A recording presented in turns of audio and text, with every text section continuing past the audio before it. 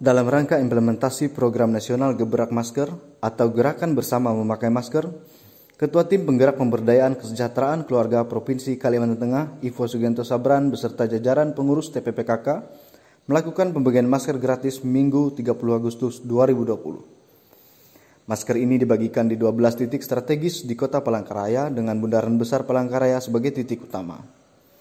Pada kegiatan ini, TPPKK Provinsi Kalimantan Tengah bekerja sama dengan Poltekkes Kemenkes Palangkaraya membagikan 23.000 masker kain kepada masyarakat.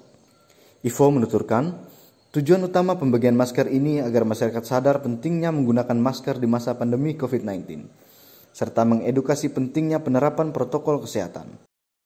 Kita memakai masker untuk memutus rantai penularan COVID-19 juga kemarin uh, sudah saya sampaikan juga bahwa kegiatan gebrak masker itu tidak hanya one day event sekali kegiatan jadi berkelanjutan termasuk uh, pada kegiatan ini yang uh, membagi masker tidak hanya dibagi tadi juga disosialisasikan terkait protokol kesehatan dan penggunaan masker itu sendiri uh, seberapa lama pakainya bagi, uh, bisa dicuci atau tidak itu juga harus kita edukasi.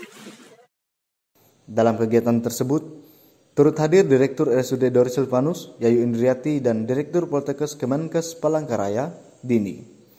Asep dan Doni, MMC TV, melaporkan. Tabe.